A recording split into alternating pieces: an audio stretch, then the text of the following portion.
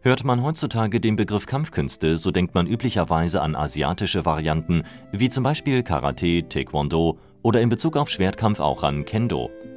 Nur wenige wissen, dass auch Europa eine reiche Tradition an verschiedensten Kampfkünsten aufweisen kann. Bereits im Gudrunlied, welches wohl um 1230 entstand, werden vier Schirmschläge eines Schwertkämpfers erwähnt. Auch andere Quellen, wie zum Beispiel das Nibelungenlied, belegen, dass es Schirmmeister bzw. Fechtmeister gab, die ihre Kunst systematisch unterrichteten. Das älteste Lehrbuch einer europäischen Kampfkunst wird auf Ende des 13. oder Anfang des 14. Jahrhunderts datiert und beschäftigt sich mit dem Umgang mit Schwert und Faustschild. Bemerkenswerterweise zeigt es Mönche beim Waffentraining, sodass kämpfende Mönche wohl kein Privileg des Shaolin-Klosters in China waren. Aus dem folgenden Zeitraum bis zum 16. Jahrhundert sind über 50 deutschsprachige Manuskripte erhalten, die als Lehrbücher des Fechtens bezeichnet werden können. Mit der Einführung des Buchdruckes in der Folgezeit erhöhte sich diese Anzahl noch erheblich.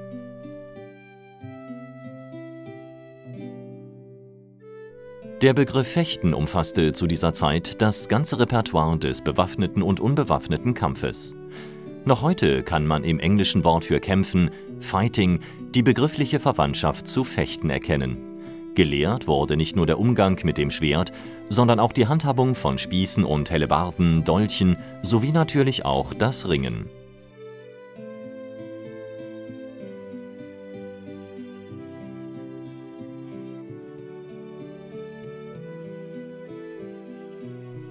Aus dem Jahre 1474 stammt ein Kassenbuch, welches als erstes die Existenz einer geordneten Organisation von Fechtmeistern belegt.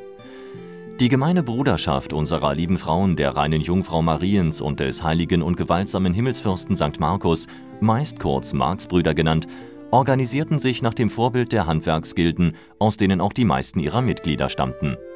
Sie führten sogar ein eigenes Wappen, im Jahre 1487 erteilte Kaiser Friedrich III. den Marxbrüdern den ersten Privilegiumsbrief. Er gestattete ausschließlich ihnen, im Reich gegen Bezahlung Fechten zu unterrichten. Die Bruderschaft hatte ihren Sitz in Frankfurt, wo jährlich zur Herbstmesse auch die Meisterprüfungen abgehalten wurden. Diese Marxbrüder hatten über mehrere Jahrhunderte eine einzigartige Monopolstellung inne, wie sie auch heute noch manche Kampfkunstorganisationen gerne haben würden. Im Jahre 1570 führte eine bedeutende Konkurrenzorganisation, die Gesellschaft von der Feder zu Greifenfels, ihr Wappen ein. 1607 bekamen sie von Rudolf II. sogar einen eigenen Privilegiumsbrief. In alten Dokumenten werden sie oft als Federfechter bezeichnet.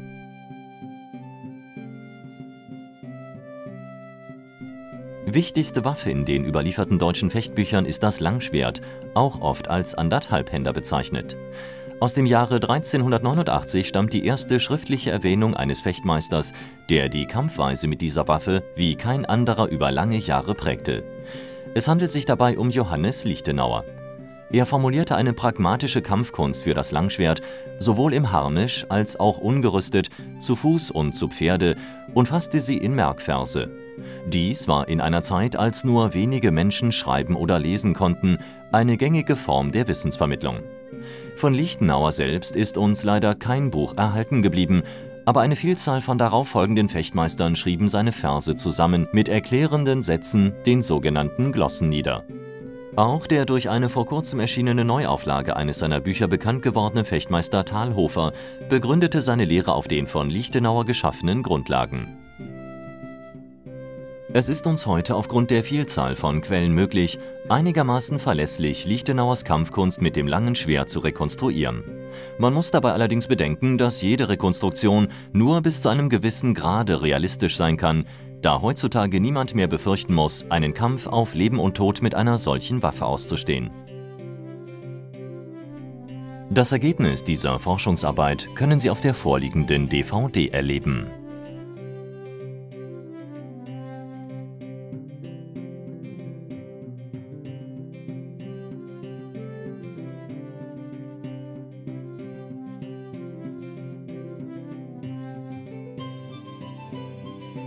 Das Langschwert besteht aus dem Griff, früher auch Gehilz genannt, und der Klinge.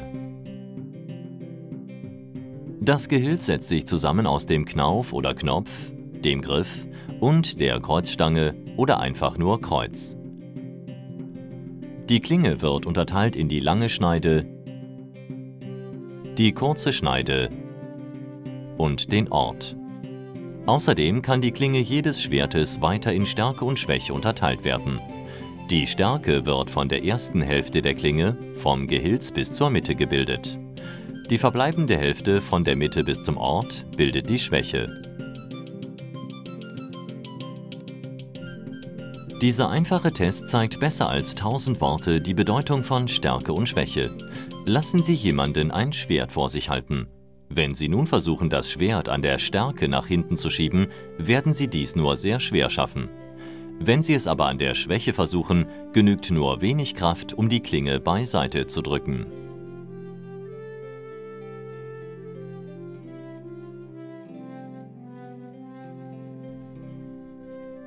Die Langschwerttechniken im vorliegenden Werk wurden vor allem aus fünf Fechtbüchern rekonstruiert, die alle die Lehre Lichtenauers näher ausführen. Obwohl die Autorenschaft nicht immer gesichert ist, werden vier dieser Fechtbücher von den Meistern Peter von Danzig, Hans von Speyer, Jude Liu und Sigmund Ringeck zugeschrieben. Ein weiteres anonymes Fechtbuch ist allgemein unter dem Namen Goliath bekannt. Sekundär wurden zur Erklärung einiger Begriffe und Prinzipien das Fechtbuch von Joachim Meyer und das Hausbuch, welches Hanko Döbringer zugeschrieben wird, hinzugezogen. Ein letztes Wort zur vorliegenden Arbeit. Jede Rekonstruktion einer historischen Kampfweise kann nur den momentanen Stand der Forschung wiedergeben. Obwohl durch die Vielzahl der verwendeten Quellen die Prinzipien als gesichert gelten, ist es immer wieder möglich, dass sich durch neue Quellen die Interpretation von Teilbereichen ändern kann.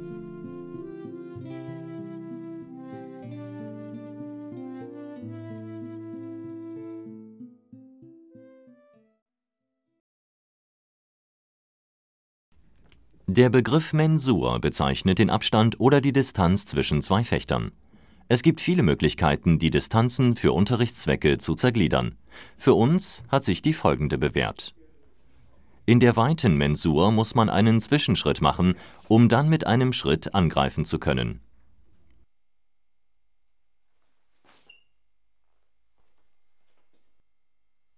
In der mittleren Mensur kann man den Gegner mit einem Schritt erreichen.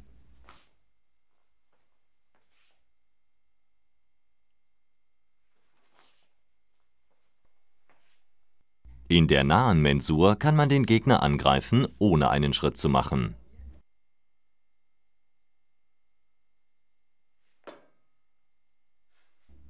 In der engen Mensur befinden wir uns so nahe, dass wir Greif- und Ringtechniken ausführen können.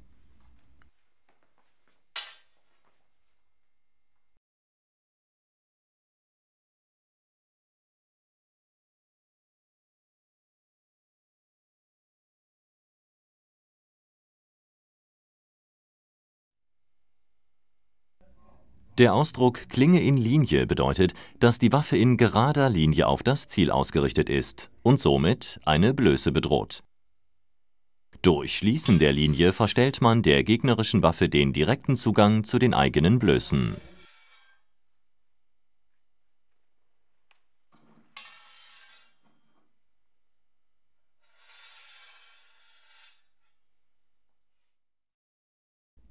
Vor und Nach bezeichnen das Konzept Lichtenauers, stets die Initiative zu ergreifen bzw. sie wieder zurückzuerlangen.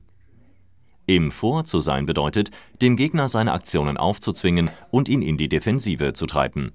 Es ist also besser, direkt anzugreifen oder in die Vorbereitung des gegnerischen Angriffes zu attackieren, als auf die Bewegungen des Gegners zu warten. Nach bedeutet, dass man auf einen Angriff des Gegners reagieren muss.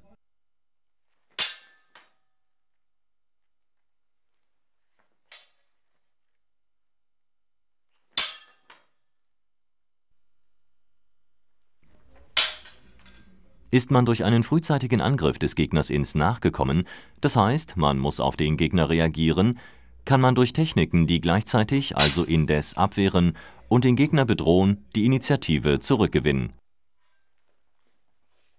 Der Begriff indes ist aber auch eng mit dem Fühlen verbunden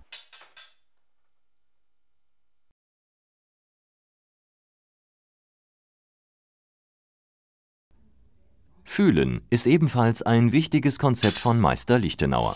Sobald während eines Gefechtes eine Bindung der beiden Waffen entsteht, soll man anhand des Druckes, den der Gegner an unserer Klinge ausübt, erkennen, welche Techniken am besten anzuwenden sind. Dies funktioniert auch ohne hinzusehen nur anhand der taktilen Wahrnehmung.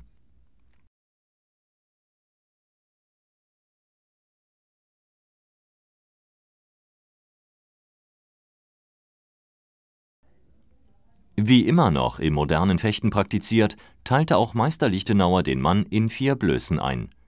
Im Gegensatz zum modernen Blößenkonzept, bei dem sich die Blößen mit der Waffe mitbewegen, wurden die alten Blößen durch eine horizontale und eine vertikale Linie, welche sich etwa in Solarplexushöhe kreuzen, dargestellt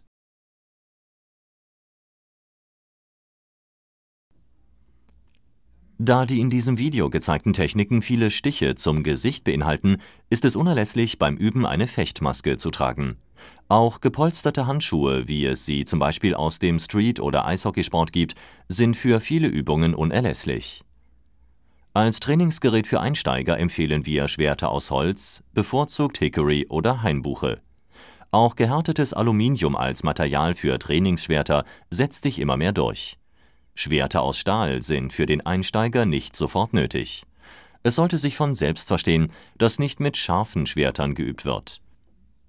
Wenn man sich für ein stumpfes Stahlschwert entscheidet, sollte man deutlich auf die Herstellerangaben zu den Verwendungsmöglichkeiten achten. Wichtig ist aber, dass die Schwerter nicht zu schwer gewählt werden, um zumindest einigermaßen in der Führigkeit Originalen zu entsprechen. So sollte das Gewicht eines durchschnittlichen Anderthalbhänders in etwa 1,5 Kilogramm betragen zum Freikampf werden unter anderem auch Shinais aus dem Kendo-Sport verwendet, die nachträglich mit einer Kreuzstange ausgestattet wurden. Hier zeigen wir Ihnen noch einige Übungswaffen für die verschiedenen Waffengattungen, die wir praktizieren. Zunächst das lange Schwert als Grundlage für alle anderen Waffen. Die lange Stange. Das einhändige Schwert, meist zusammen mit einem Faustschild geführt. Das lange Messer und der Dolch